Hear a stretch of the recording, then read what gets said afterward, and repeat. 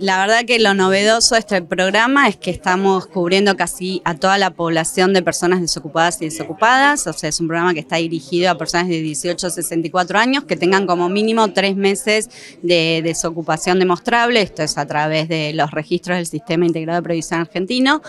y todas las personas que se registren en el portal de empleo, que carguen sus datos laborales, su CV completo, este, y tengan estos por lo menos tres meses, es decir, puede ser gente que nunca tuvo una experiencia laboral o que está desocupada, digamos, por lo menos eh, desde los últimos tres meses, acceden al incentivo de reducción de contribuciones patronales. Si bien esto no es algo directamente para el trabajador, lo que hacemos con esto es promover este, la contratación de personas desocupadas por sobre otras personas por parte de los empleadores porque tienen este beneficio de la reducción de contribuciones. Recién decías que eh, en la presentación presentación que bueno, tiene que ver con el IFE, la cantidad de gente también que se venía notando. Bueno, se ha anunciado una nueva etapa, pero es eh, vincularlo con esto un, es un siguiente paso. Exacto, en realidad lo que nos demostró el IFE era la cantidad de trabajadores, eh, ya lo sabíamos obviamente por parte de las estadísticas, pero que la informalidad en la Argentina no, es nueva y es algo ah, desde, que desde el Ministerio de Trabajo este, queremos revertir.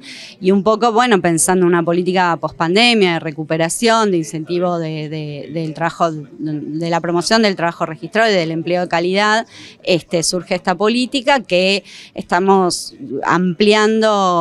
de forma muy importante, digamos, la cobertura de la población. Además, tiene algunas prestaciones específicas para población que nosotros entendemos que tiene mayores dificultades para acceder al mercado laboral, como son los jóvenes, como mujeres con, con menores a cargo, hombres mayores de 45 años y, digamos, destinatarios de otros programas sociales, en donde ahí, digamos, nos concentramos en incentivar la formación profesional con algún incentivo económico mientras las personas realizan estos cursos y también, digamos, incentivos para la formación en ámbitos laborales y la inserción laboral asistida, que es cuando, digamos, el ministerio subsidia parte del salario por 12 meses a una empresa que toma alguna de, estas personas que entendemos que